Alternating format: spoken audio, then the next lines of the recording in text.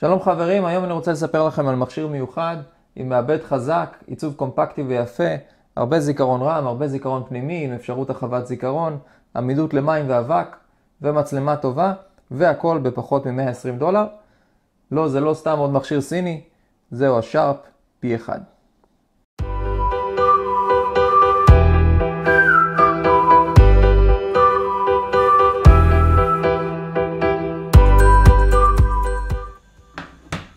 השארפ P1 למי שטועה הוא אכן מכשיר של שרפ, תוצרת מקורית, הוא לא איזה מכשיר מדבקה סיני. אה, למי שלא יודע, שרפ הם אה, מובילים גם בתחום הסמארטפונים, כמובן טלוויזיות, מקררים וכדומה, מה שכולנו מכירים, אבל גם בתחום הסמארטפונים הם אה, מאוד חדשניים טכנולוגית, הם הראשונים בעצם להוציא את הטלפונים ללא גבולות מסך, ובכלל המסכים שלהם מאוד חדשניים ומאוד מובילים. מבחינה מסחרית הם כמובן פחות מוצלחים, לפחות בשווקים המערביים. אמ, אבל הם כן אה, יצרן מוביל בתחום הזה. ומה שמעניין כאן באמת זה היחס מפרט למחיר. אמ, מי שזוכר בדיל שפרסמתי לכם ממש לא מזמן, הוא נמכר בסביבות 120 דולר בגירבסט, לינק כאן למטה, אה, בדיל. ואנחנו מקבלים כאן מפרט די מדהים למחיר הזה, יש לנו כאן מעבד סנאפדרגון 820, בעצם מעבד של הדור הקודם, מ-5, LG G4 וכדומה, מעבד מאוד חזק. 3 ג'יגה בייט של רם, 32 ג'יגה בייט זיכרון פנימי, עם אפשרות הרחבה עם כרטיס זיכרון עד 200 ג'יגה בייט, אה, סוללה של 3,000 מילי אמפר, חיישן טביעת אצבע שמשולב במסגרת המסך, כמו מכשירי סוני, עמידות למים ולאבק, מאחור מצלמה די טובה של 22.5 מגה פיקסל, מלפנים 5 מגה פיקסל. מבחינת חסרונות, אז כבר אפשר לספר על שתי חסרונות עיקריים שיש לנו כאן. קודם כל, אין לנו עברית בתפריטים. לצערנו לא טרחו להכניס כאן עברית. זה נפוץ מאוד בטלפונים כאלה שלא משווקים לעולם. ניסיתי להפעיל כאן עברית עם כל האפליקציות המוכרות של more local 2, אה, set language וכדומה. אה, לפחות אוטומטית זה לא מסתדר, אני מניח שאפשר אולי לנסות דרך המחשב, אה, עברות וכדומה. אני לא טרחתי, אני חושב שזה קצת מאבד מהפואנטה של מכשיר זול ולקהל יעד הזה. אז סך הכל מי שמסתדר באנגלית, האנגלית בסיסית, לא, לא יתקשה כאן, פשוט התפריטים עצמם באנגלית. כל השאר אפשר לשנות לעברית, את האפליקציות אפשר להחליף, אפשר לשים כאן לאנצ'ר. אה, מבחינת הלאנצ'ר כאן הוא קצת מוזר, אה, זה מאוד דומה לאנדרואיד נקי, אבל יש כאן מין אה, שלוש נקודות עם מסכי בית שונים, וזה קצת מוזר. זאת אומרת, אנחנו, יש לנו גם ניווט ימינה-שמאלה וגם למעלה-למטה, קצת מבלבל. וילון ההתראות מאוד פשוט, מאוד נוח, יש לנו כאן גם uh, אה, NFC אגב. מבחינת גרסת האנדרואיד, אני אמנם קיבלתי עדכון איך שהפעלתי את הטלפון, אבל uh, אנחנו נשארים כאן עם אנדרואיד 6.01 ועדכון אבטחה לתחילת 2017.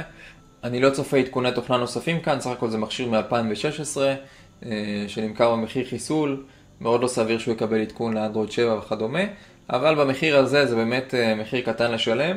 בסך הכל אה, אין כאן אה, איזושהי פונקציה שאנחנו אה, נפסיד בגלל זה.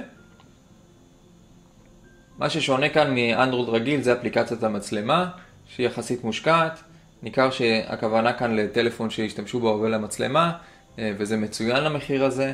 יש לנו כאן מצב ידני משוכלל, מצב הילוך איטי, טיימלאפס, מונוקרום ומצב פוקוס שעובד די מצוין, אמנם יחסית איטי, אבל מאפשר לנו לשנות את הפוקוס גם בדיעבד.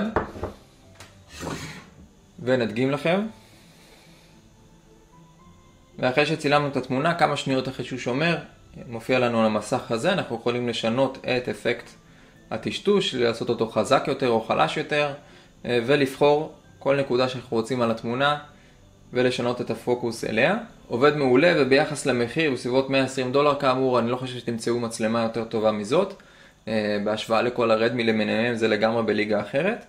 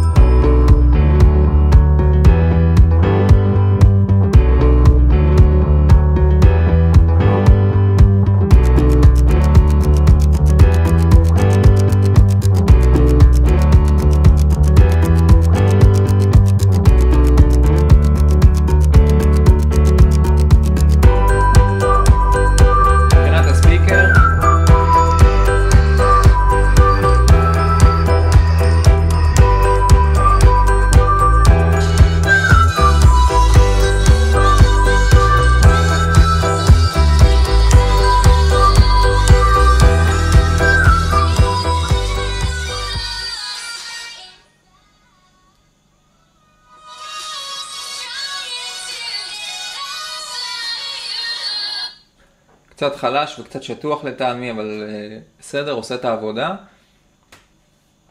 גם בשיחות כאן בסדר גמור. בהגדרות יש לנו גם כמה פונקציות מיוחדות שלא ראיתי בשום מכשיר אחר, לדוגמה גריפ מג'יק, שבעצם אה, כוללת כאן כמה חיישנים שישולבו לתוך מסגרת המכשיר ולגב המכשיר, שבאחיזה מסוימת של המכשיר המסך לא יסתובב. אה, פתרון נחמד, אני יודע שהרבה אנשים לא אוהבים, אה, פשוט מכבים את הסיבוב האוטומטי כי זה מסתובב להם אה, במקרים שהם לא רוצים, כשהם שוכבים על המיטה וכדומה. פה בעצם באחיזה מסוימת המכשיר לא יסתובב, זה ממש מגניב. מבחינת GPS אין מה לדאוג, התוצאה כאן באמת מעולה. כמו שאתם רואים 3 מטר וזה כאן בתוך הבית. קולט סביבות 22 לוויינים, ממש מצוין. אז לסיכום, השאר פי 1, מכשיר אקזוטי, יפה עם מצלמה מצוינת. יש כאן כמה חסרונות מהותיים, אה, כאמור אין עברית, גרסת אנדרואיד לא מעודכנת, אה, אין נקישה כפולה, דברים כאלו שלחלקכם אה, יהיו קריטיים מדי. לאחרים המצלמה המצוינת והמפרט המעולה כאן לחלוטין שווים את ההשקעה, אז זה שיקולכם, לינק כאן למטה ונתראה בסקירה הבאה.